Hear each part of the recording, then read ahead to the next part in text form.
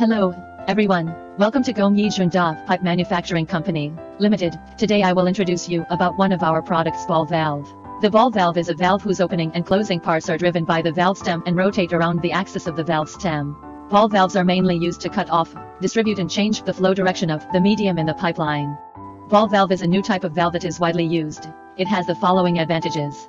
First, the fluid resistance is small, and the resistance coefficient is equal to the pipe section of the same length. Second, the structure is simple, small in size and light in weight. Third, tight and reliable, good sealing. Fourth, easy to operate, quick opening and closing. Finally, wide range of applications. Welcome to contact us on Alibaba.com. We are looking forward to long-term cooperation with you.